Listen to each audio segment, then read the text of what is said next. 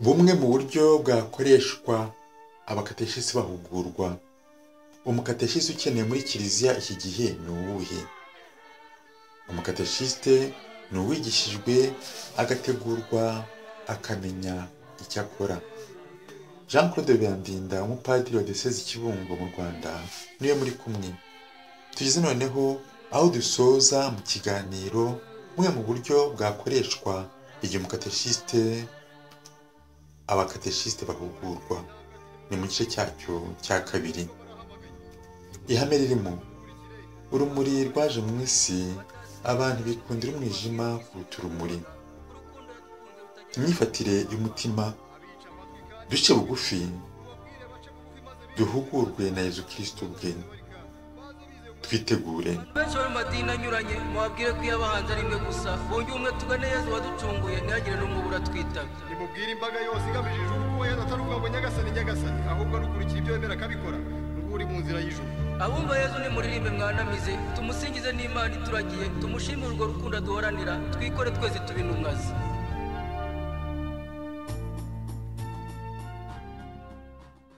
hashize iminsi itari myinshi nyiri ubutungane papa francisco ashyizeho minisiteri y'umureki w'umukateshiste ni ukuvuga ko iba serivisi ihoraho itangwa na kiliziya y'aho iri igendeye ku bisabwa mu ikenerabushyo byagenzuwe n'ubishinzwe bikuzuzwa mu buryo bwa kirayiki nk'uko bisabwa n'iyo minisiteri nyine. Bidufashe kwibuka ibyo twaganiriye ubushize. Hari uburyo twagarutseho ari bw'ubu ngubu. Guhwitura umutimanama wa kominote y'abakirisitu ubukangurambaga bw'ibanze mu nyigisho no mu mahugurwa gutegura no gusubira mu buryo kateshezi itangwa amashuri y'abakateshiste ku rugero rw'ibanze n'amatsinda ahugura muri kateshezi icyo bimaze ni ukwita ku murayiki uhugurwa uko yahawe na kiliziya minisiteri ikomeye. Noneho rero turongeraho ubu bukurikira. Turavuga ku mashuri y'abakangurambaga n'abaminuza muri kateshezi mu rugero rugereranyije turongeraho kaminuza na santere y'ibigo byiyubashye bya za foromasiyo muri kateshezi turasoza tuvuga ku mahugurwa ahoraho. Tuganire. Ibyo birasa n'umubyeyi ufite ubushobozi akubakira umwana we inzu. Abazi imvune yo kubaka yayimuhaye ntanyuzemo ngo arebe uko ayifashe. Bose yabasenyukana. Kandi uhomba cyane ni umubyeyi kuko umutungo wamuvunnye uba warahashiriye. Naho umwana we ashobora kwibwira ngo ahavuye iyo nzu hazanaturuka n'indi. Reka tubyerekane. Nyagasani yezu nabane namwe amagambo yo mu ivanjiri ntagatifu uko yanditswe na yohani. Yezu yakomeje abwira nikodemu ati koko imana yakunze isi cyane bigeza aho itanga umwana wayo w'ikinege igira ngo umwemera wese atazacibwa ahubwo agire ubugingo bw'iteka. Icyakora imana ntiyohereje umwana wayo hano ku isi ngo ayicire urubanza yagira ngo akize isi. Umwemera ntacirwa urubanza ariko utemera aba yakiriwe urubanza kuko atemera izina ry'umwana w'ikinege w'imana. Dore urubanza urwo ari rwo. Ni uko urumuri rwaje mu isi abantu bakikundira umwijima kuruta urumuri kuko ibikorwa byabo byari bibi. Iyo ni ivanji ntagatifu. Nicyo dusesengure dusobanura. Yezu yafashe umwanya aganira na nikodemu w'umuhanga ushaka guhugurwa nawe. Yezu azi ko uwo bavugana azi byinshi. Ariko ananazi ko agomba kongererwa ku byo asanzwe azi. Dore ibyo yongereweho. Nikodemu aravugana n'umwana w'imana data wakunze isi. Akaba ari kubyerekana ku buryo bunoze. Uwoherejwe ni we bari kumwe. Umwemera agira ubugingo arakira ntacirwa urubanza kuko yakiriye urumuri rw'amahanga ntayoba kuko ari we nzira ukuri n'ubugingo. Reka ducengere isomo ryacu. Turabata ya ngingo twavugaga amashuri y'abakangurambaga n'aminuza muri kateshezi mu rugero rugereranyije.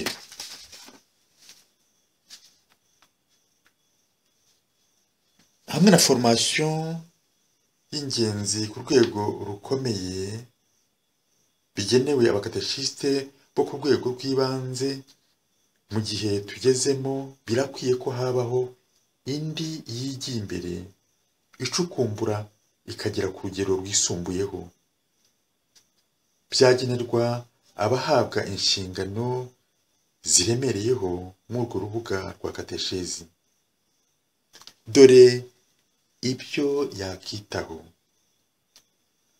ku bakangurambaga ba kateshezi muri za paruwase bafite inshingano zo guhuza ibyo bikorwa no guhugura amatsinda y'abakateshiste harimo no gutegura gahunda y'ibyigwa bya kateshezi muri kominote z'abakirisitu ku bakateshiste bumva bafite umuhamagaro wo kwitangira minisiteri ya kateshezi muri kiliziya bakayitangira byuzuye.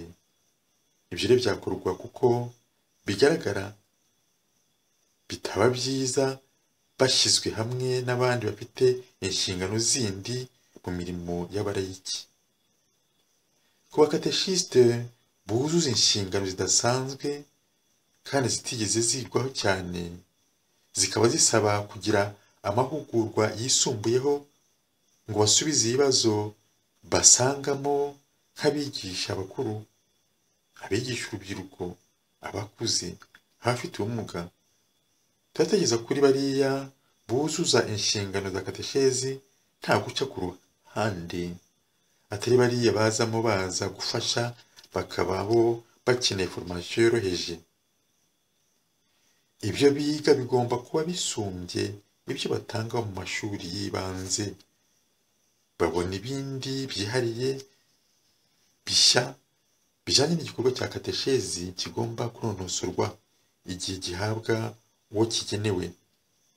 Uwo mwihariko witabwaho ariko ufatiye ku cy'ingenzi rusange. Iki gikoreshwa cyagera nibura ku myaka ibiri itatu se hari n'aho batanga ibikenewe mu gihe gito gishoboka. Byakorwa ku rwego rwa diyoseze cyangwa se diyoseze zikishyira hamwe. Ikindi kaminuza na santere ziyubashye za formation muri kateshezi formation ya kateshezi mu rwego rwo hejuru yagenerwa abasaseredoti abihayimana n'abarayiki ifite agaciro kanini kuko igihe kirabisaba cyane muri kiliziya yacu muri za diyoseze zacu niba igikorwa cyacu kidashyigikiwe n'abashobora gutekereza byisumbuyeho ngo hakorwe ubushakashatsi bwimbitse. Kateshezi ntabwo izagera aho ikenewe. Iyo foromasiyo mu rwego yaba igamije ukugera kuri ibi bikurikira. Gutegura abashinzwe kateshezi ku rwego rwa diyoseze mu buyobozi bwa diyoseze no mu turere tw'iyogezabutumwa cyangwa mu mashyirahamwe y'abihayimana gutegura no kwigisha abazaba abarimu ba kateshezi mu maseminari mu nzu za formation z'abihayimana mu mashuri y'abakateshiste hari kandi guteza imbere ubushakashatsi muri kateshezi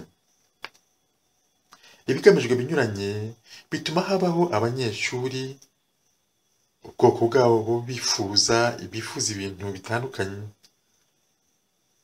Aha barangije igice cya mbere cya teolojiya bakaba babona babona impamyabushobozi ihanitse kuko baba barabonye byinshi hakaba hasigaye ubunararibonye abandi ni ababa barakoze imirimo bakagira n'inshingano muri kateshezi bakaba bagira amahugurwa abategurira ibindi bashinzwe.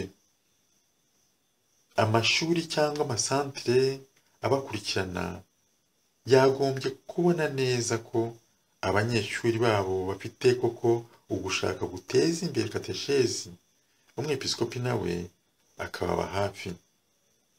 Byagaragaza gusa ko abakora muri kateshezi bashobora guhabwa ubushobozi butuma bagira ibyabo ibyo bakora. Bakabyaza umusaruro ibyo bize. Mu gihe amadiyoseze mu gihugu ashyigikiranye ndetse n'ayo ku isi hose haba hasigaye no gukurikirana niba ibitangwa hari icyo bihindura ku cyo kateshezi igamije. Ni umujyo wa kateshezi uzagena igikenewe cyateza imbere urwo ruhande. Abepiskopi nabo bahakurikirana bakamenyeraho igikenewe kurusha ikindi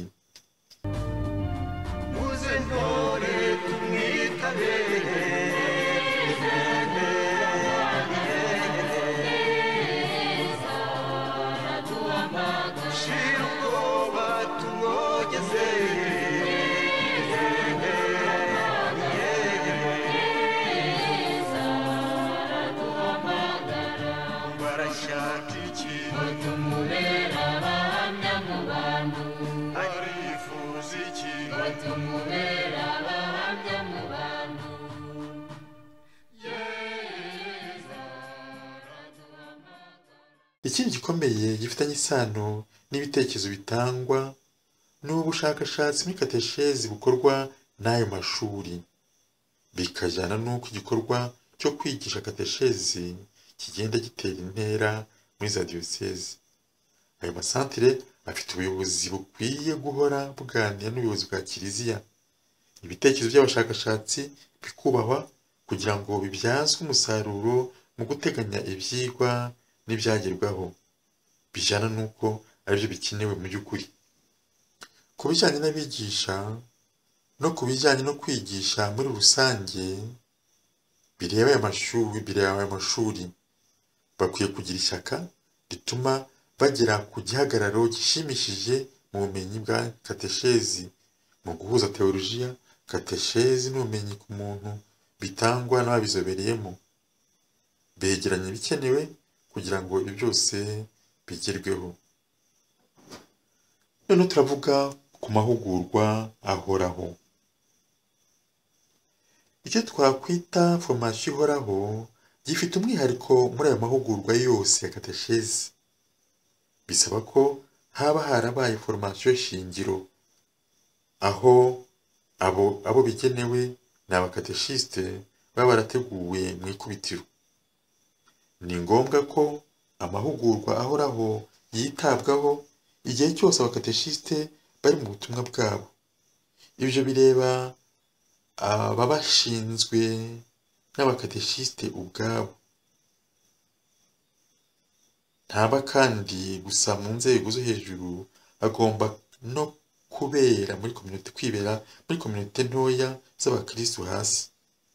Ni ukubera yuko biba bikenewe bigenda bihindagurika bitewe n'ahantu ahariho. Ku rundi ruhande rero amategeko agenga kiliziya afatiye ku myanzuro ya konsili vatikani ya kabiri yasabaga abepiskopi ko abakateshiste baboneka bateguwe neza uko bikwiye. Akamaro k'amahugurwa ahoraho mu gihe cyose cya foromasiyo yagenwe ariyo shingiro. Urubuto rwiza rwayisoromwaho ni ukwiga ni ukwihugura. Intego iba igezweho rero iyo iba igezwe n'iyo kuba foromasiyo y'ingenzi. Ihaye umukateshisite uburyo ikamuha urukundo rw'ibyo akora. Bityo bimwe mu byo iyo foromasiyo ihoraho itanga harimo ibi ngibi. Uko ishimangira ibyatanzwe na foromasiyo ya mbere ikanavanaho imbogamizi z'igihe kimaze guhita. Iyungurura ya foromasiyo hagasigara iby'ingenzi byoroheje atari ukuba byaribagiranye ahubwo ari ukubicengeza kubicengera no kubibyaza ibindi. Mu kubishyira mu ngiro ya kateshezi ifungura umukateshisite andi marembo. Asaba gutamanzura no gusubira mu byo yari yarabonye. Bibyutsa umukateshisite ubundi buryo bwe bwite bwa kateshezi bijyanye n'uko ateye n'ibyiza asanganywe. Kubera ibyo byose diyoseze yari ikwiye guteganya foromasiyo y'abakateshisite uburyo byakorwamo n'urugero byageraho bigenda bitandukana. Ntibyagombye gusimburwa n'uko habayeho gucika intege no kubyihorera. Bitegurwe buri mwaka bigendeye ku bikenewe kurusha ibindi by'abakateshisite no gukora imyitozo basaba. Niyo mpamvu bagomba kubigiramo uruhare rufatika. Kugira ngo bibyazwe umusaruro ku mpande zose hagomba imishinga ya diyoseze y'amahugurwa ahoraho y'abakateshisite ituma iyo foromasiyo igera ku byo igamije. Mu bikorwa byinshi bya foromasiyo ihoraho bishoboka harimo n'iyo foromasiyo nubwo yakorwa mu bihe bihora bigaruka byamara igihe icyo ari cyo cyose gusa gifite icyerekezo. Dore ibishoboka.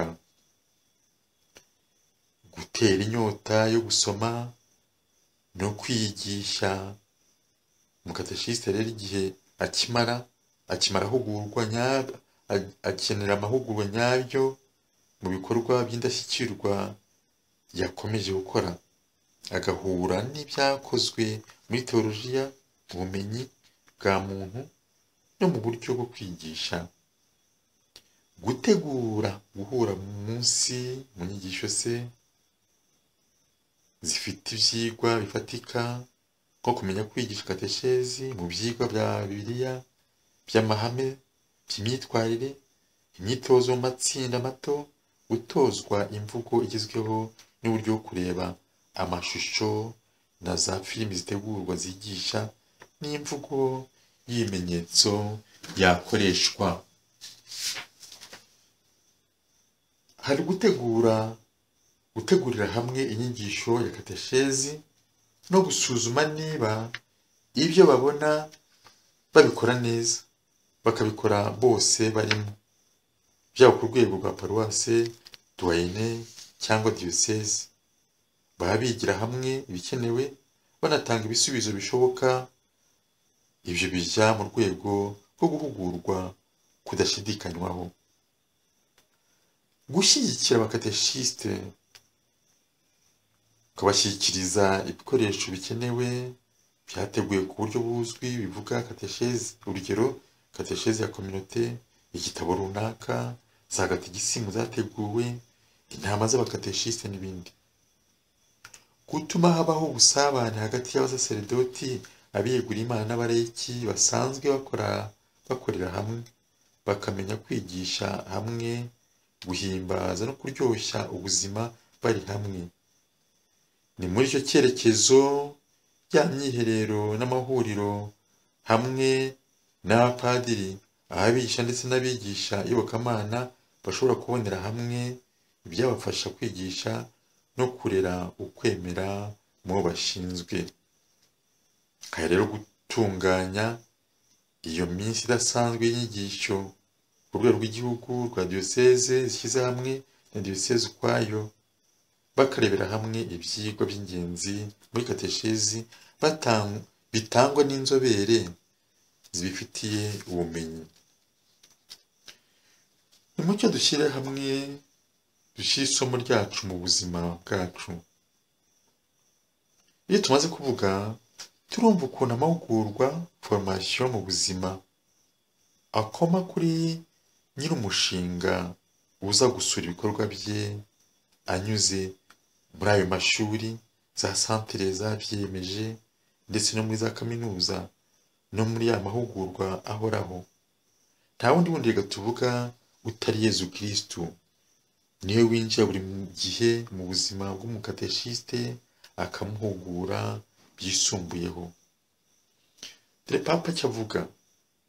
Ikindi ni uko haba abayoboke bafatanya n'abapadiri n'abadiyakoni biteguye kuzuza inshingano z'ubwo butumwa aho bibaye ngombwa bakaba bafite ishyaka ryaryo ishyaka nyaryo rya gitumwa. Ibyo rero abivuga yerekeje kuri uwo murimo wa kateshiste reka twiyerekezeho iri somo. Iri somo dutangarira ukuntu yezu ari kumwe natwe kugeza igihe isi izashirira nk'uko yabisezeranyije. Aracyagaragara mu bigisha mu bahugura muri izo ngo muri ayo mashuri no muri izo kaminuza. Nibwo buryo rero dushyigikiyemo ijana ku ijana. Ariko hari na roho mutagatifu ukorera muri bose akaba umwigisha wo mu ibanga. Dukomatanye ibyo twabonye byose. Urumuri rwaje mu isi abantu bikundira umwijima kuruta urumuri. Ntabwo yezu kirisitu yatuma umwijima uganza. Niyo mpamvu ashyigikira uburyo bwose butuma urumuri rwigaragariza amahanga. Dore duhugurwe nawe tureke duhugurwe nawe duce bugufi duhugurwe na yezu kirisitu bwe maze ibyo ashaka bigerweho